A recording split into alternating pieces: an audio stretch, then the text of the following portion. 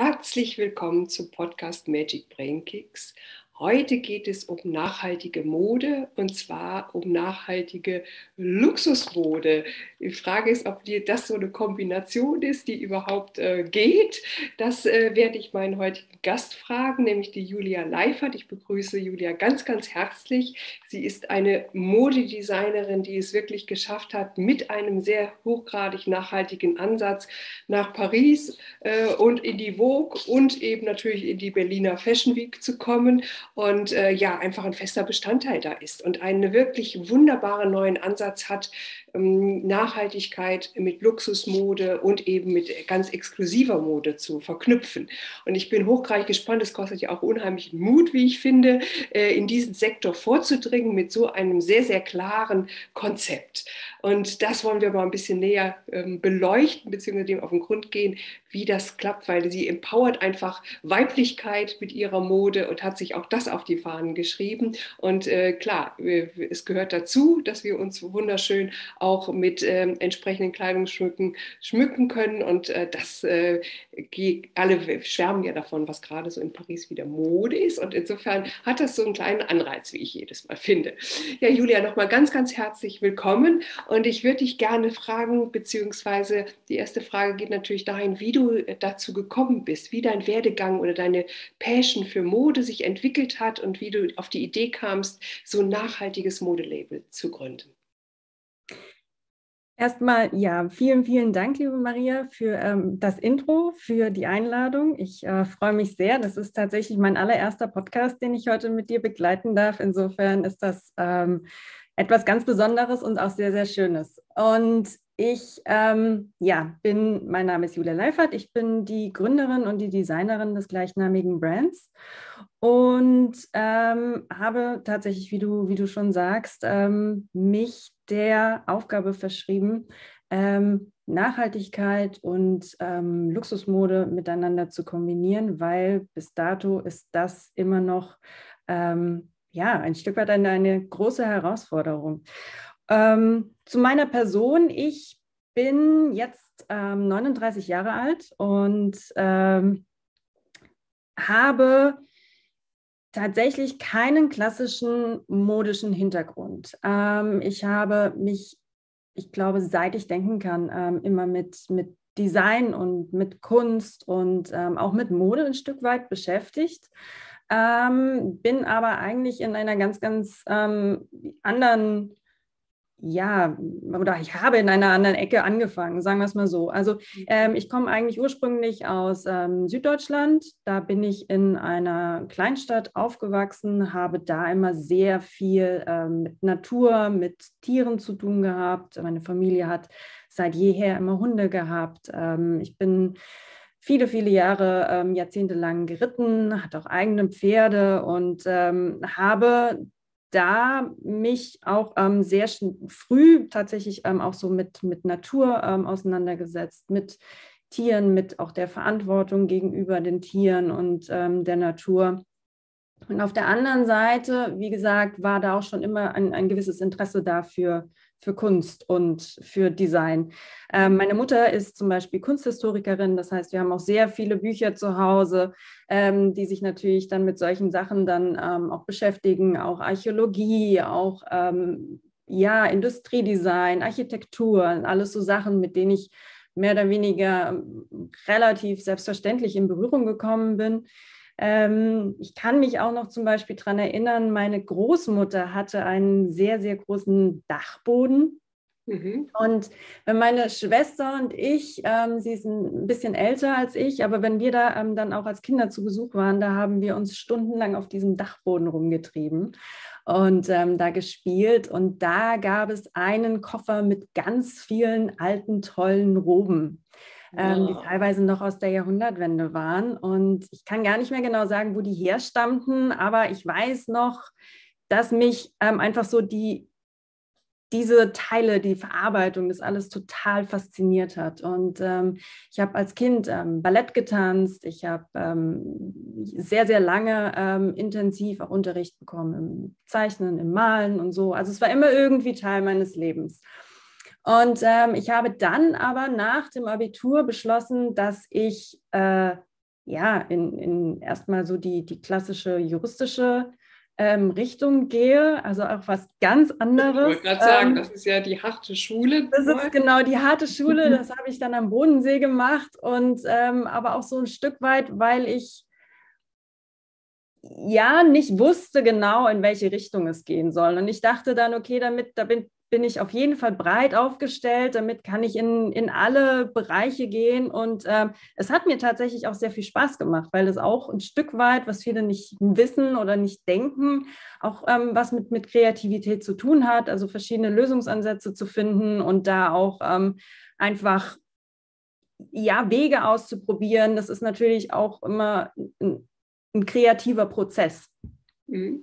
Nichtsdestotrotz hat mir, hat mir das Handwerk oder auch einfach so dieses, dieses ähm, das Design hat mir ein Stück weit gefehlt. Und ich habe da in der Zeit ähm, dann angefangen, als Hobby mehr oder weniger ähm, tatsächlich mit, mit der Schneiderei und ähm, habe auch mit Schnittkonstruktion mich sehr viel beschäftigt und habe da ähm, ja, in meinem Studentenzimmer sozusagen dann immer so als Hobby die Nähmaschine stehen gehabt und dann nebenher dann so ähm, angefangen, mir selbst und ähm, auch anderen, ähm, ja, so Sachen umzunähen oder selbst mal was zu entwerfen und ähm, auch tatsächlich was, was anzufertigen, auszuprobieren und einfach ähm, mich da so ein bisschen kreativ auszuleben kann man so sagen. Und ähm, habe dann auch beschlossen, ich möchte gerne in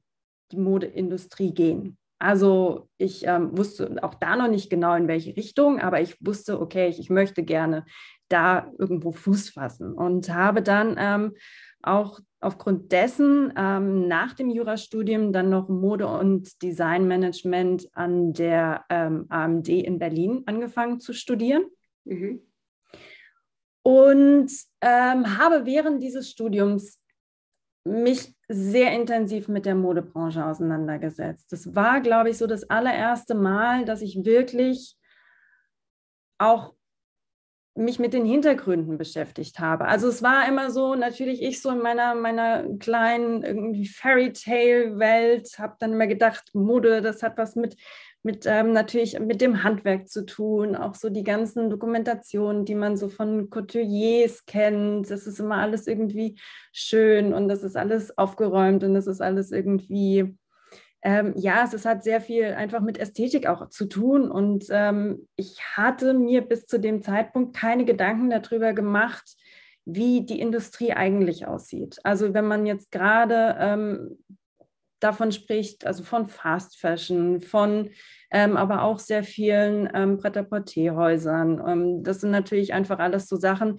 die abstrakt natürlich immer im Hinterkopf da sind. Ja, ja, es wird im globalen Süden dann auch gefertigt, aber diese Vorstellung, wie sich das ähm, wie das aussieht, wie sich das anfühlt, wie das alles tatsächlich dann auch vonstatten geht, das war, das war zu abstrakt, das war für mich nicht greifbar. Und ähm, wie gesagt, während dieses, dieses Studiums habe ich dann angefangen, mich damit auseinanderzusetzen und ähm, habe dann irgendwann festgestellt, Mode ja, das ist etwas, was mich wirklich ähm, bewegt und was mir sehr viel bedeutet und wo meine Leidenschaft liegt, aber in dieser Industrie kann ich so nicht arbeiten, wie ich mir das überlegt hatte. Also es war irgendwie, es war so eine Art Kulturschock und ich habe für mhm. mich festgestellt, okay, ich, ich weiß nicht, wie ich da unterkommen soll, weil es ist, es ist so desaströs, dass ich das mit mir irgendwie nicht vereinbaren kann. Und ähm, habe mich dann,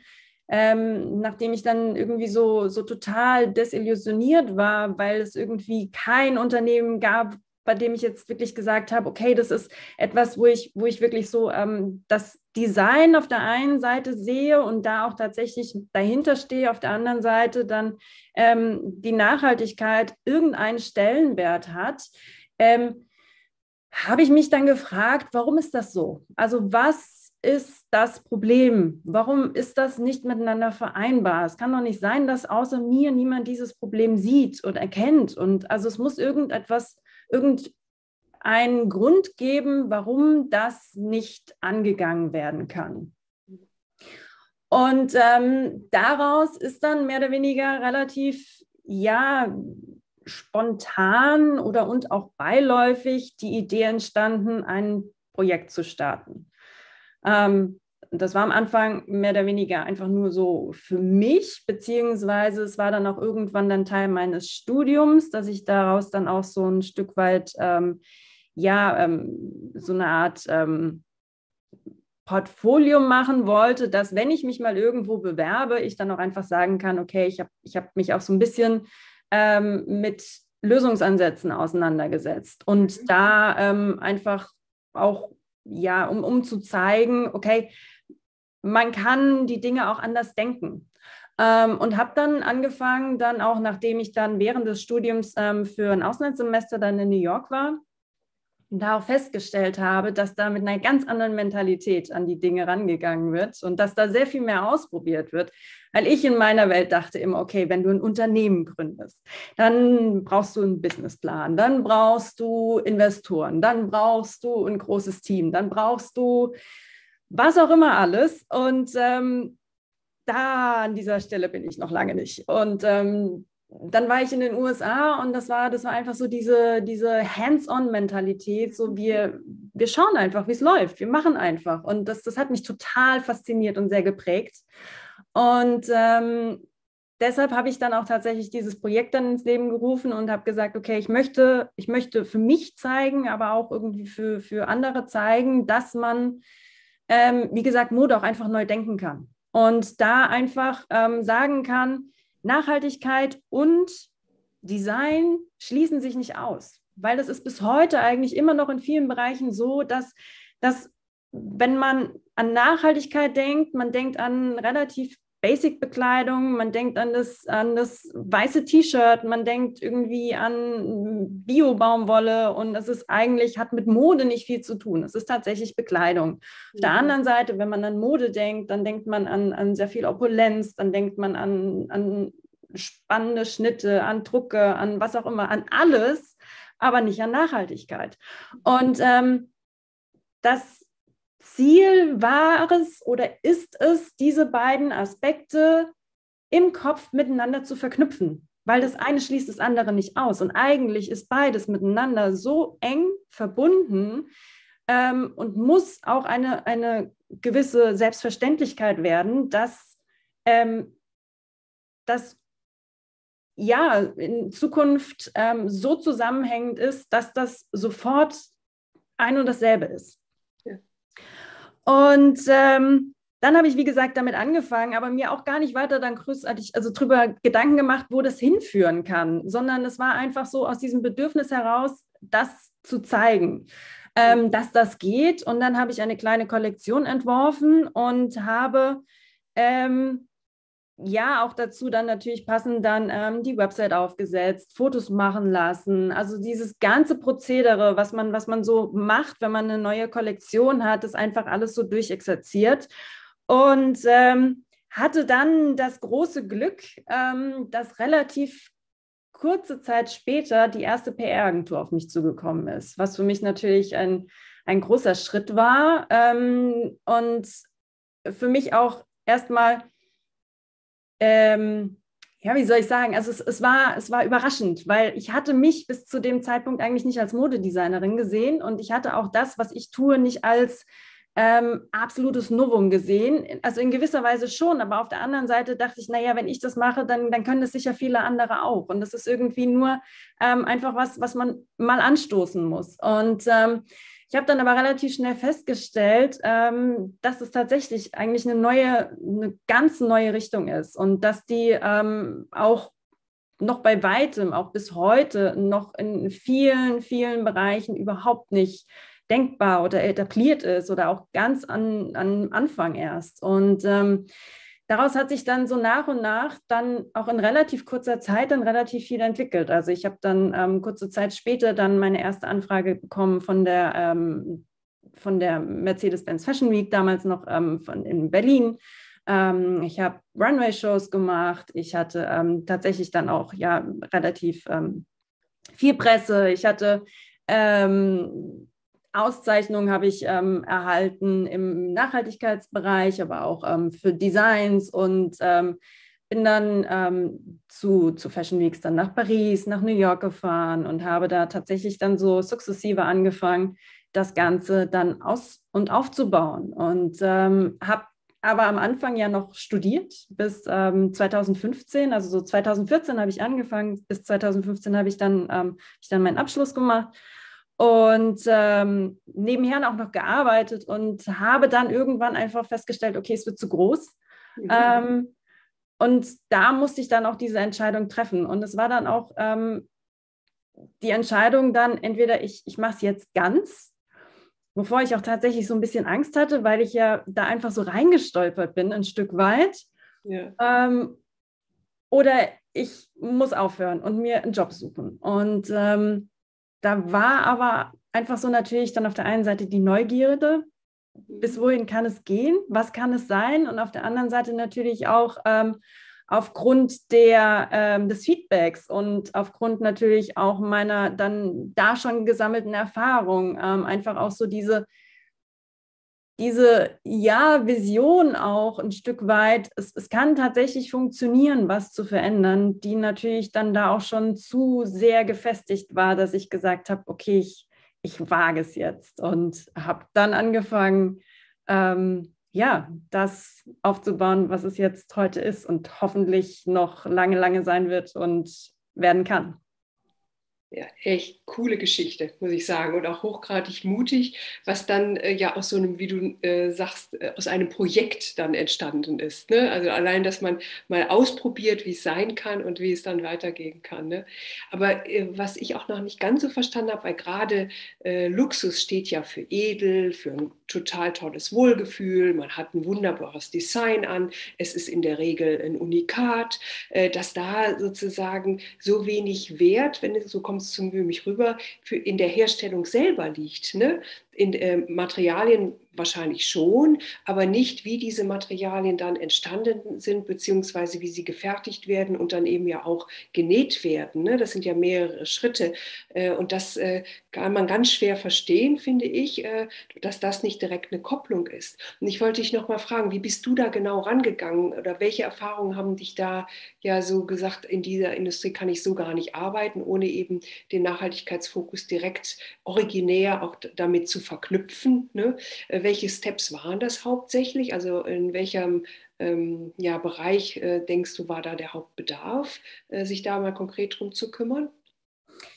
Ähm, also ich glaube, wenn wir uns die Industrie heute so angucken, dann ist das insgesamt ähm, ja, ich glaube, dem Umstand geschuldet, dass ähm, sehr viele Unternehmen ähm, vor allem zahlengetrieben sind. Also die ähm, Unternehmen sollen natürlich ähm, möglichst ähm, großen Umsatz machen, die Unternehmen sollen wachsen und ähm, die Kosten müssen irgendwie gesenkt werden, der Gewinn muss maximiert werden. Und das ist eigentlich so die Denkweise, die flächendeckend wahrscheinlich auch über die Branchen hinweg, also nicht nur in der Modeindustrie, ähm, einfach vorherrschend ist. Und da geht es natürlich dann darum, ähm, immer wieder Wege zu finden, mehr, günstiger, nach Möglichkeit besser ähm, zu produzieren und das natürlich dann möglichst gewinnbringend zu verkaufen. Mhm.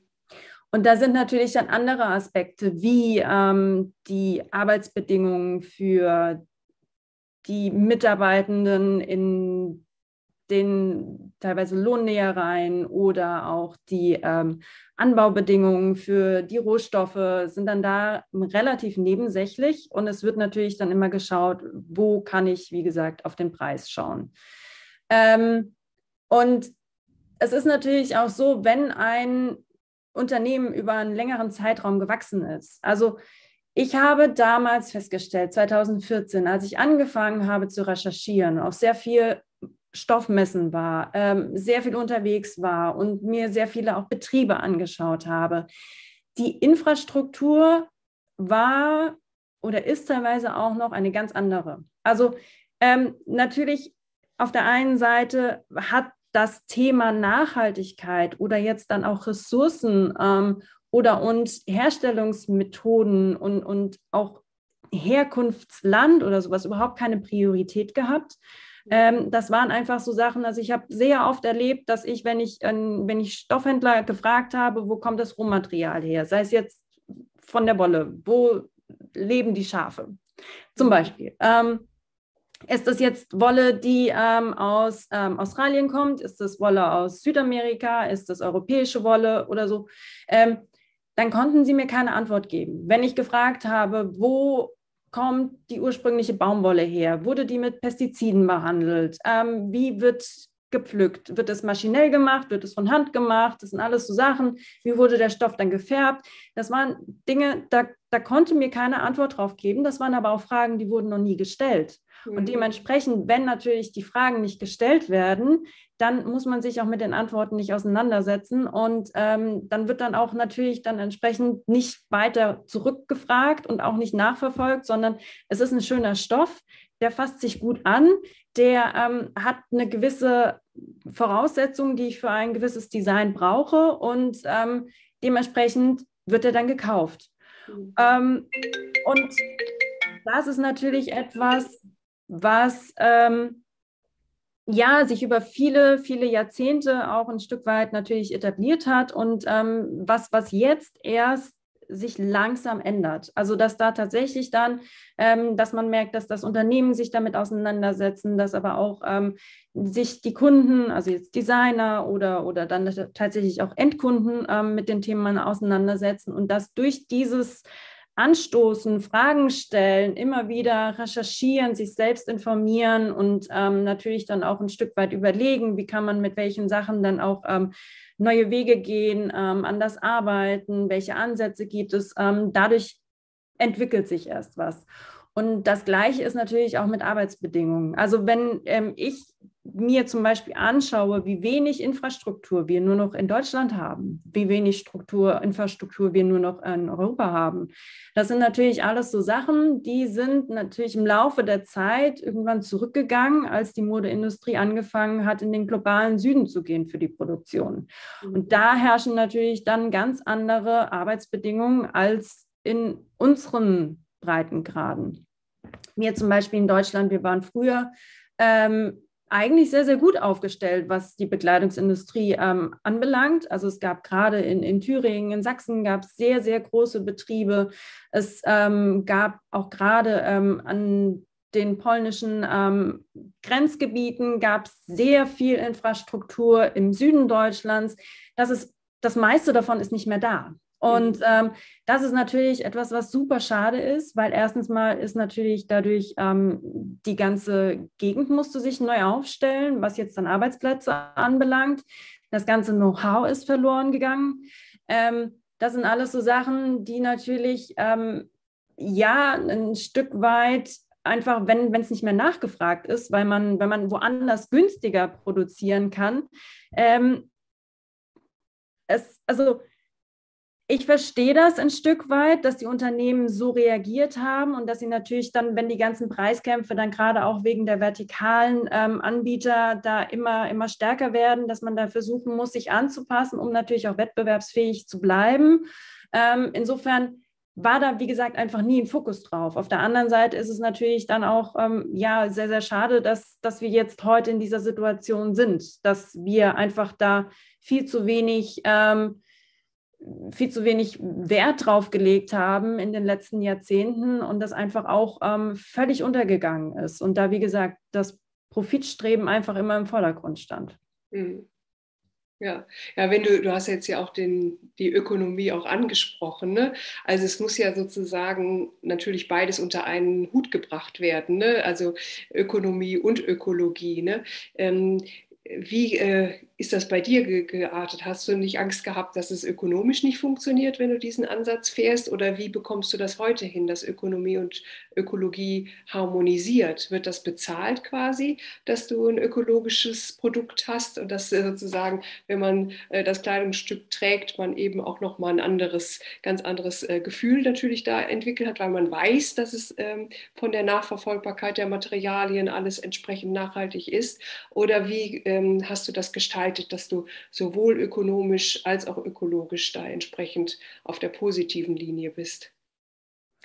Ähm, es ist relativ schwierig. Also wir, wenn wir ähm, uns Umfragewerte anschauen, dann ist es mittlerweile tatsächlich so, dass ähm, ich glaube, also ich kenne die Zahlen jetzt gerade nicht auswendig, aber um die 80 Prozent der Deutschen geben an, sie würden mehr ähm, für ein nachhaltig ähm, oder fair ähm, produziertes Produkt ausgeben. Und ihnen ist das wichtig, wenn sie zum Beispiel etwas konsumieren oder kaufen. Das andere ist dann tatsächlich die Realität, wenn man an der Kasse steht, dass unter Umständen dann doch der Preis ausschlaggebend ist für den letztendlich für den Kaufprozess. Insofern ist die Nachhaltigkeit, es ist ein schönes Add-on. Es muss meiner Meinung nach auch eine Art Selbstverständlichkeit werden. Ähm, das ist ganz wichtig. Es ist aber im Moment noch nicht der Grund, warum man etwas kauft. Mhm. Das heißt, ähm, es ist natürlich auch ganz klar, dass man, wenn man wettbewerbsfähig sein möchte im, ähm, im Markt, man entweder auf der einen Seite sehr, sehr gut argumentieren muss, warum ein Produkt ähm, das und das kostet und mhm. entsprechend natürlich auch transparent sein muss. Auf der anderen Seite eigentlich die Mehrkosten, die natürlich dadurch entstehen, nicht weitergeben kann. Mhm. Und ähm, das mit dem Erklären, dass das ähm, erschließt sich, wenn man ähm, zum Beispiel in, in, Produkten des täglichen Bedarfs ähm, denkt, dann ist das, das ähm, durchaus logisch oder wie gesagt, also das, das kann man gut verargumentieren. Ähm, wenn jetzt zum Beispiel eine Tomate 20 Cent mehr kostet, weil sie besser und, und nachhaltiger und ohne Pestizide und was auch immer dann angebaut wurde, weil sie natürlich ähm, da ein Stück weit ähm, arbeitsintensiver ist und, und pflegebedürftiger als jetzt die, die irgendwo unter Plastik gezogen wurde und konventionell angebaut wird. Im Design ist das so ein bisschen was anderes. Also natürlich ähm, sind die Kosten sehr viel höher ähm, für, die, ähm, für die Produktion an sich. Die Materialkosten sind natürlich sehr viel höher. Ähm, aber nichtsdestotrotz hat man natürlich immer noch auch so diesen, diesen ja relativ abstrakten Wert des Designs an sich, der ja auch ein Stück weit mitkostet.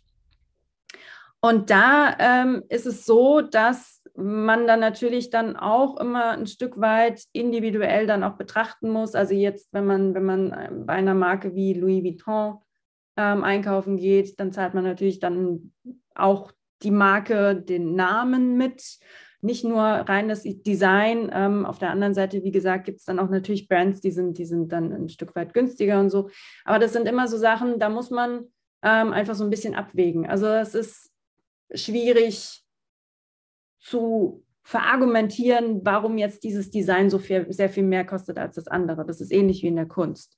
Ähm, und dementsprechend kann man natürlich da jetzt nicht sagen, ah, dann schlage ich noch irgendwie die Preise des, des Materials oder meine Kosten on top. Insofern, also ich mache das auf gar keinen Fall. Also ich gebe diese Extrakosten nicht an meine Kunden weiter. Ähm, das heißt, dass ich äh, dadurch natürlich dann auch eine entsprechend kleinere Marge habe. Mhm. Aber weil ich auch einfach sage, für mich hat Nachhaltigkeit was mit der Qualität zu tun. Also das hat was damit zu tun, wie die Sachen ähm, gefertigt sind, wie langlebig sie sind. Das, das hat was mit der Qualität auch einfach ähm, des Materials zu tun. Und das sind einfach Sachen, die sind für mich eine Selbstverständlichkeit und dementsprechend dürfen sie meiner Meinung nach auch nicht den Kunden oder die Kunden mehr kosten, ähm, sodass ich das ähm, auch nicht an meine Kunden weitergebe und da mich auch im Bereich dessen, was vergleichbare Designermarken kosten, dann einfach bewege. Hm, ja, verstehe. Und wie hast du das Gefühl, ist das Ganze jetzt, wenn man jetzt nach Paris, New York und eben in die internationale äh, Szene guckt, äh, wird das adaptiert? Finden da so langsam zarte Pflänzchen der nachhaltigen Luxusmarken statt? Oder wie würdest du das einschätzen? Ähm, ja, ich, also ich glaube tatsächlich, dass sich jetzt in den letzten zwei, drei Jahren ähm, sehr, sehr viel getan hat.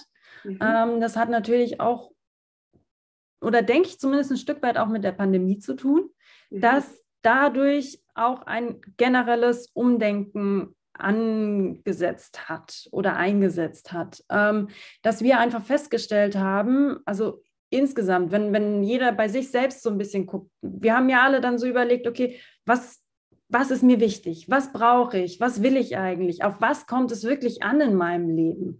Mhm. Und ähm, wir haben alle festgestellt, okay, wir haben so wahnsinnig viele Klamotten im Schrank und eigentlich kann man die alle sowieso gerade überhaupt nicht gebrauchen, weil wir alle zu Hause waren.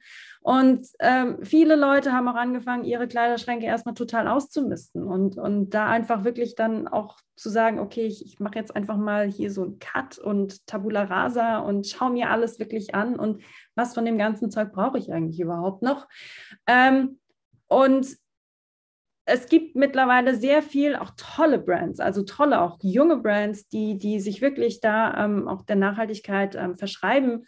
Also wenn man sich ähm, in Skandinavien umguckt, also jetzt in zum Beispiel Kopenhagen gibt es ja die Fashion Week, da sind ähm, bestimmte Grundkriterien jetzt mittlerweile tatsächlich fest etabliert, mhm. dass sich Brands dann nur noch ähm, bewerben oder beteiligen dürfen, die, die eine gewisse ähm, Grundstruktur an nachhaltigen ähm, Aspekten erfüllen.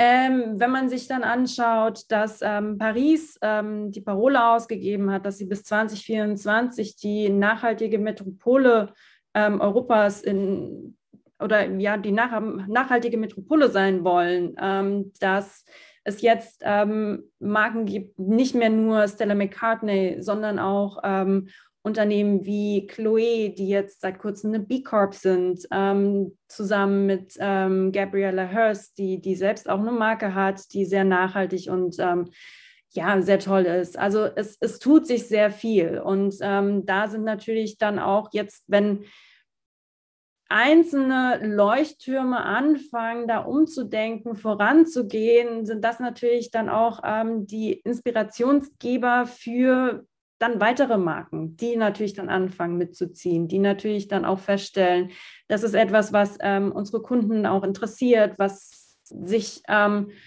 auch jetzt abseits von, von der absoluten Notwendigkeit, dass wir einfach jetzt wirklich ins Handeln kommen, ähm, sich unter Umständen auch rechnen kann. Weil viele hatten immer nur diese Kostenblöcke im, im Blick mhm. bis dato. Und ähm, ja, natürlich ist es schwierig, ein bestehendes Unternehmen umzustrukturieren. Natürlich ist es auch mit, mit sehr viel Mehraufwand, mit Recherche, mit Arbeitsablaufplänen ähm, verbunden, die geändert werden müssen. Aber man, man stellt immer mehr fest, dass es auch Möglichkeiten gibt, das wirklich langfristig und gut und ähm, auch sinnvoll zu etablieren. Und dementsprechend gibt es immer mehr Brands. Und das ist, das ist ähm, eine tolle Entwicklung, die ich da sehe. Ja.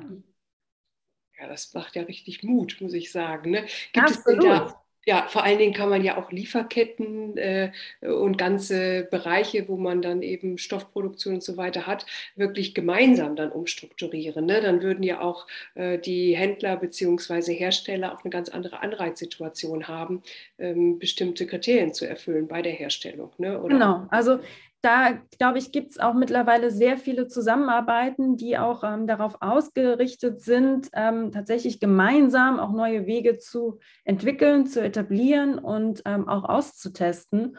Und das sind alles ähm, ganz spannende Entwicklungen, dass da einfach tatsächlich auch wirklich gemeinschaftlich nach neuen Lösungsansätzen gesucht wird und die ganze Branche sich dadurch dann auch ein Stück weit entwickeln kann. Ja. Wie sieht das in der Herstellung selber aus? Du äh, arbeitest ja, glaube ich, äh, mit Herstellern und Näherinnen in der Nähe von Berlin, Potsdam, ne, wenn ich das richtig in Erinnerung habe. Richtig, genau. Also im Umkreis von 150 Kilometern im Berliner Raum, mhm. ähm, teilweise auch ähm, in den polnischen Grenzgebieten.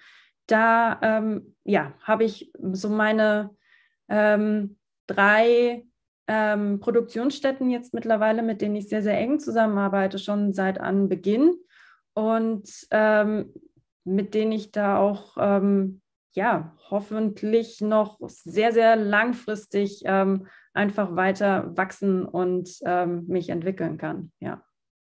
Das heißt, da ist das Know-how zurückgekehrt oder wie hast du die überhaupt gefunden? Weil du sagtest ja anfangs, dass es gar nicht mehr gab. Ne? Ja, ähm, genau. Also es ist ähm, entweder zurückgekehrt oder das waren dann ein, ein paar der wenigen, die ähm, dann noch geblieben sind. Und ähm, also es ist sowohl als auch. Also entweder jemand, also auf der einen Seite war es jemand, ähm, die ähm, Dame hatte eine kurz vor der Insolvenz stehende Produktionsstätte übernommen und hat dann gesagt, okay, ich möchte die Arbeitsplätze erhalten, ich möchte da auch weiter investieren, ausbauen, das einfach dann die, die Infrastruktur damit ein Stück weit stützen.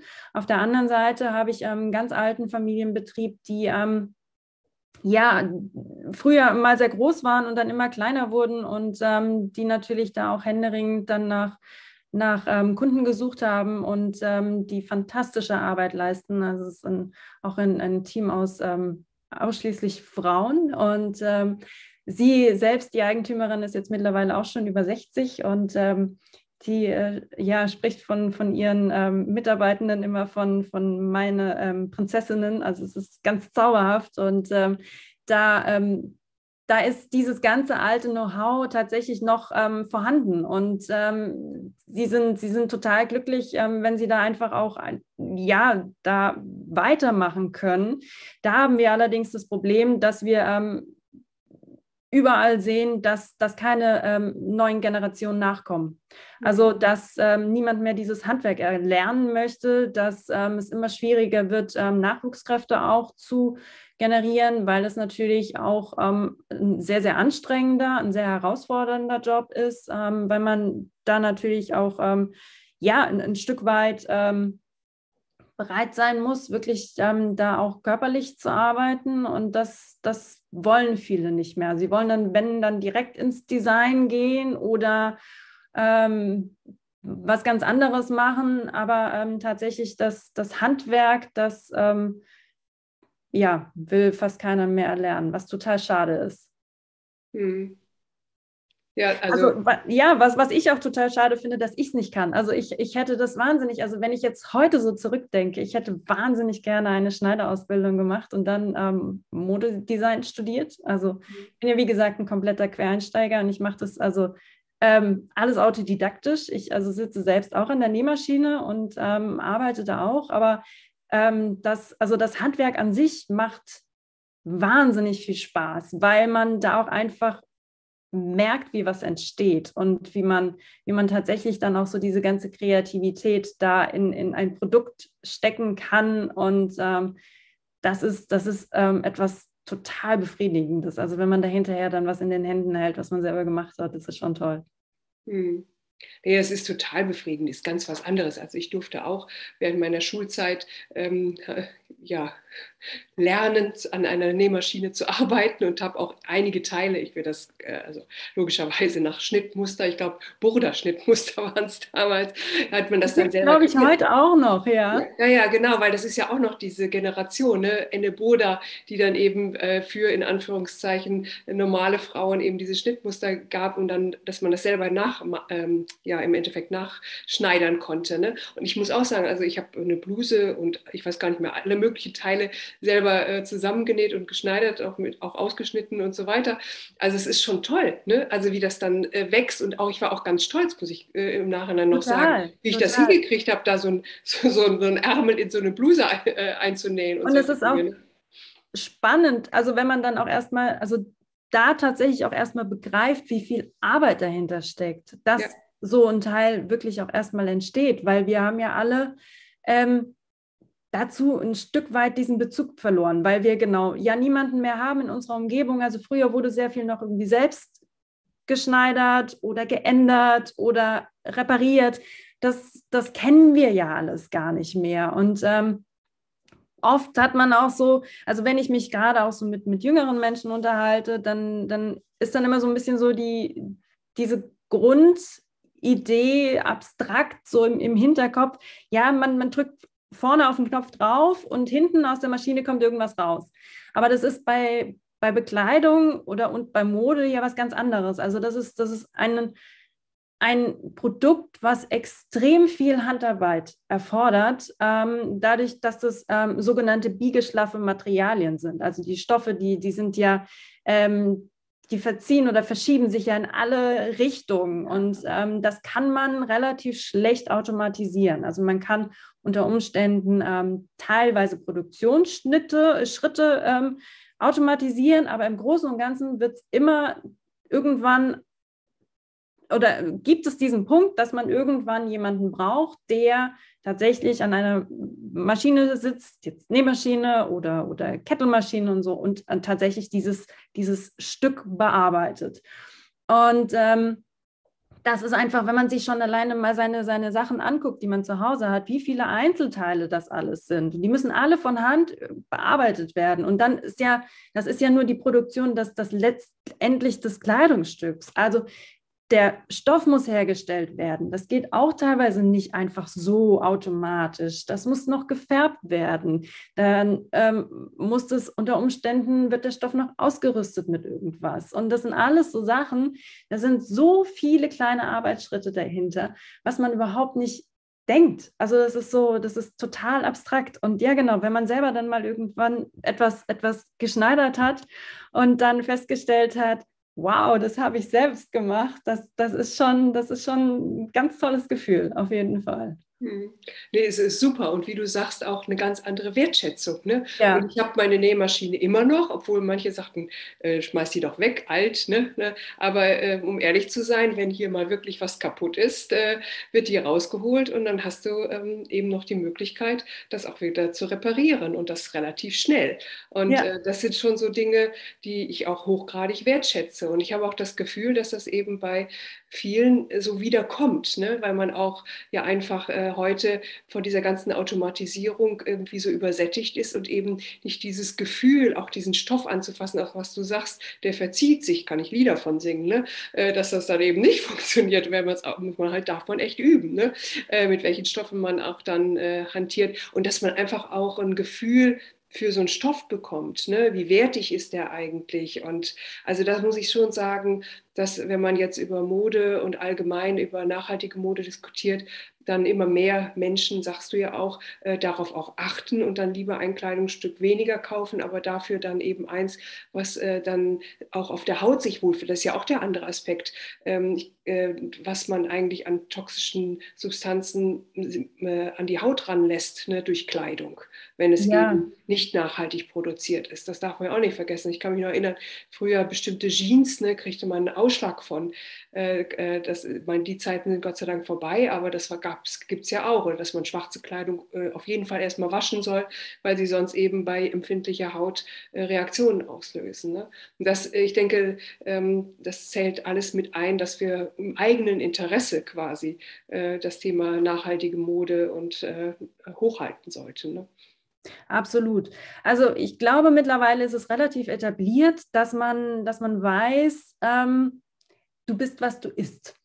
Also, mhm. dass man, dass man einfach weiß, man sollte ähm, möglichst naturbelassene ähm, Lebensmittel zu sich nehmen, nicht zu verarbeitet, möglichst keine E-Inhaltsstoffe, die, die chemischen Ursprungs sind und so. Das sind alles so Sachen, das wissen wir. Also, das, das, da ist die ähm, Entwicklung oder auch einfach die, die Aufklärung schon so weit fortgeschritten, dass das relativ Usus ist.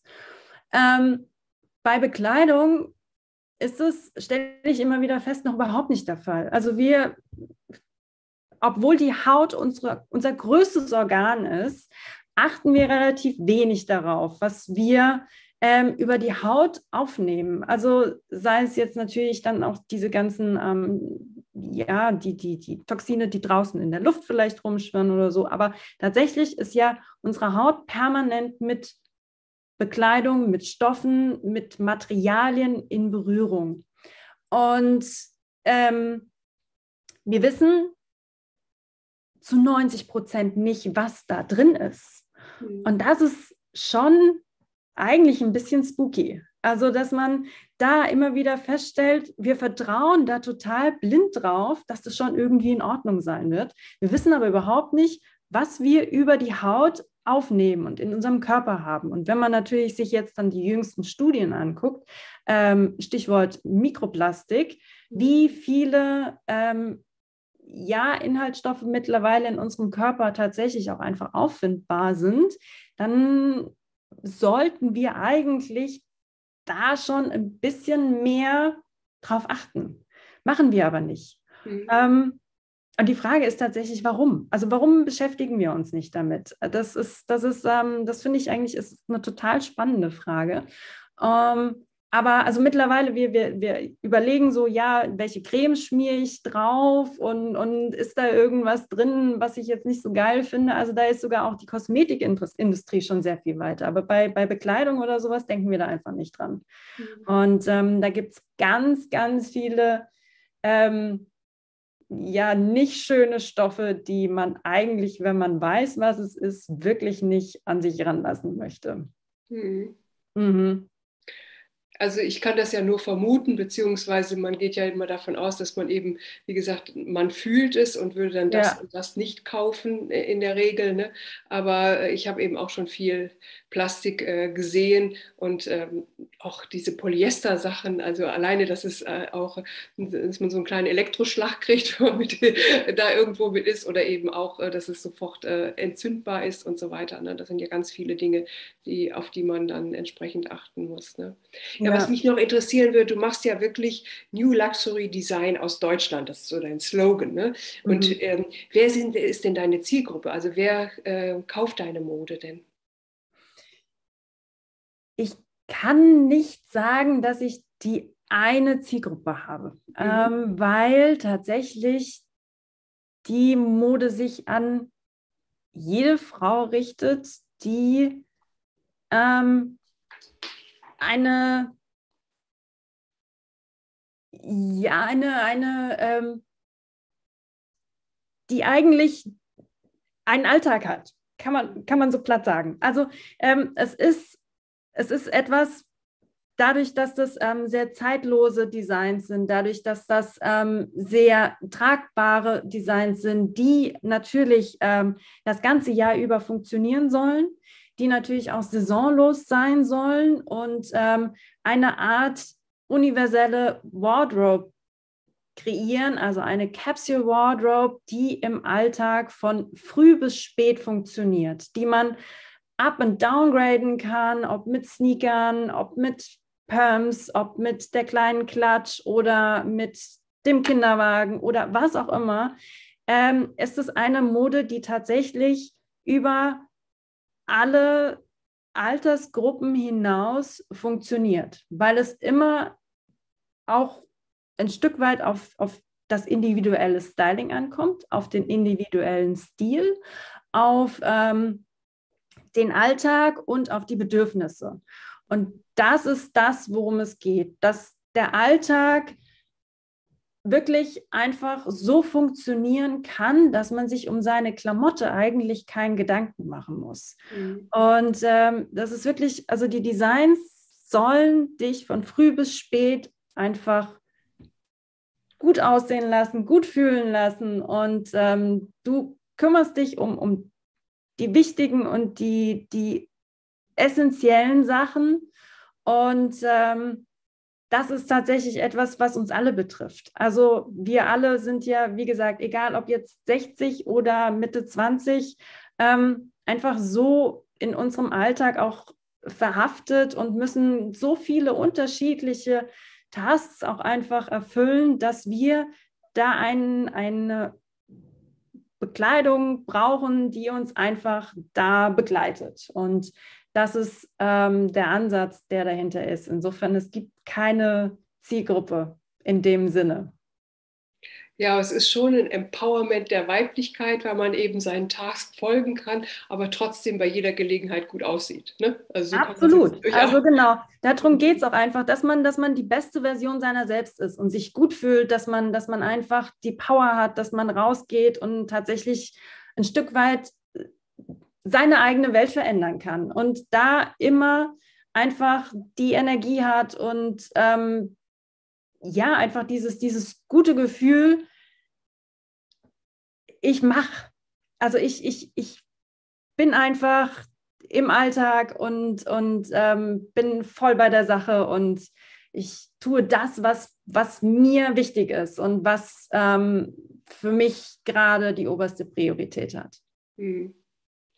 Ja, wow. Also da kann, denke ich mich, äh, denke ich mir, sich viele angesprochen fühlen. Und das ist natürlich auch etwas, so ein Modeverständnis, was du da gerade sagst, oder dieses Anliegen, wie so ein Style aussehen soll, ja auch ein ganz toller Ansatz. Ne? Da kommt jetzt äh, logischerweise Nachhaltigkeit ist eine Selbstverständlichkeit, weil das eben auch dieses Empowerment und der Zugang zu, zu ähm, einer intakten Umwelt halt mit integriert. Ne?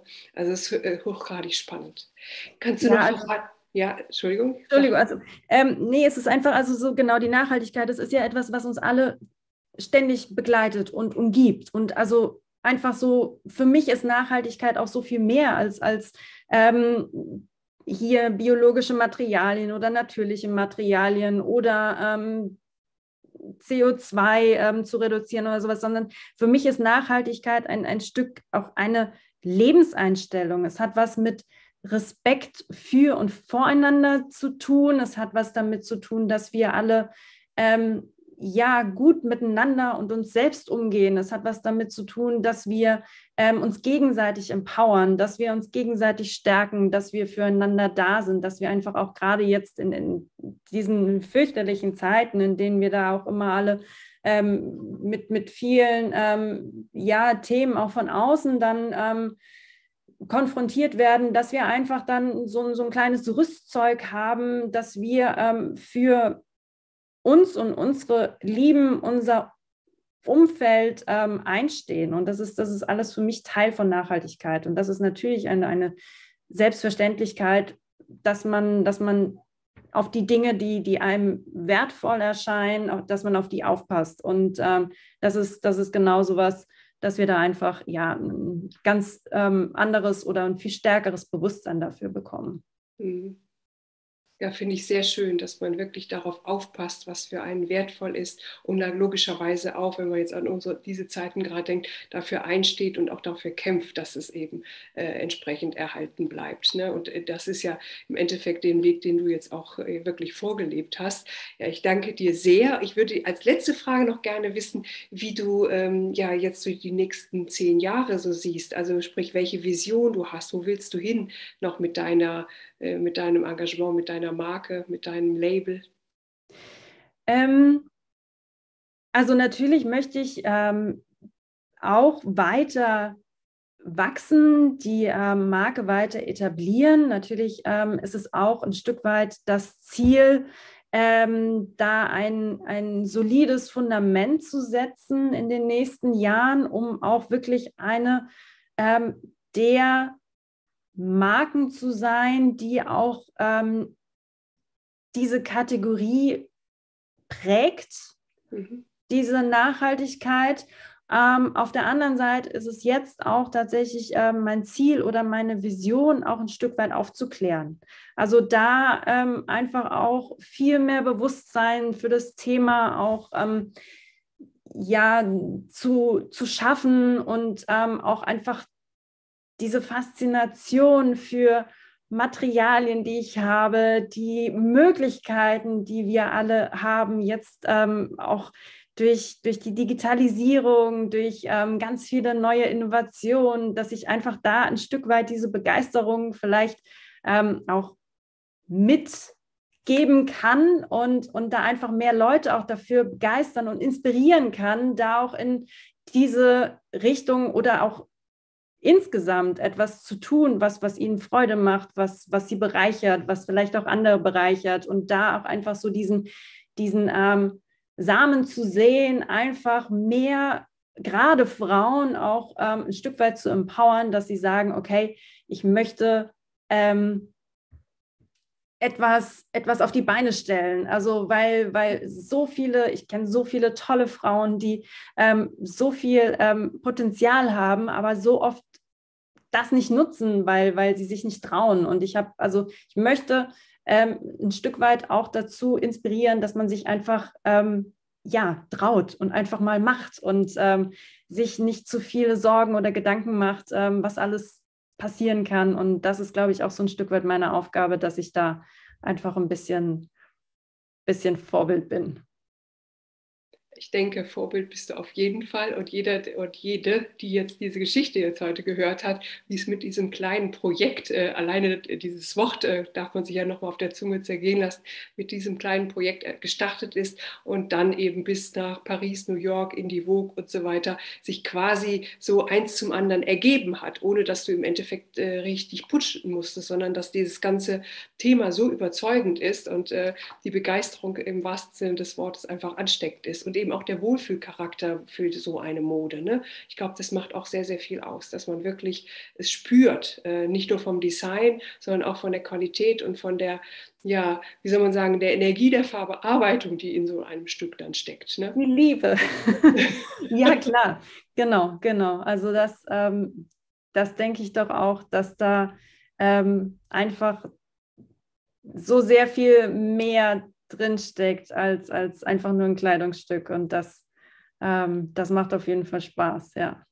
Und es ist von Prinzessinnen gewebt worden, das, oder beziehungsweise genäht worden. Das habe ich nicht vergessen. Genau. Äh, also von das darf man eben auch nicht. Prinzessinnen, ja. Ja, von, genau. Nee, ich glaube, dass das wirklich ähm, spürbar ist und ich freue mich sehr und bedanke mich ganz, ganz herzlich, äh, Julia, für das Gespräch und dass du das, deine Geschichte weitergegeben hast. Äh, die, die jetzt neugierig geworden sind auf deine Mode, die finden die, ähm, ja, die Links natürlich in den Show Notes. Ich werde da alles reinwürden, dass sie auch deinen äh, Shop finden hier in Berlin äh, und äh, sich das mal äh, ja, online oder eben auch live und in Farbe einmal ansehen können. Sehr, sehr gerne freue ich mich sehr und ganz herzlichen Dank nochmal für die Einladung. Sehr, sehr gerne. Hat mich sehr gefreut. Und besonders, dass es jetzt ein erster Podcast war. Also hervorragend. cool. ja. ja, also dass ich das sein darf. Dankeschön. Gut. Nochmal alles Liebe und auf ganz bald und ganz viel Erfolg weiterhin, Julia. Vielen lieben Dank. Ich wünsche dir auch alles Liebe. Bis dann. Danke. Bis dann. Ciao. Tschüss.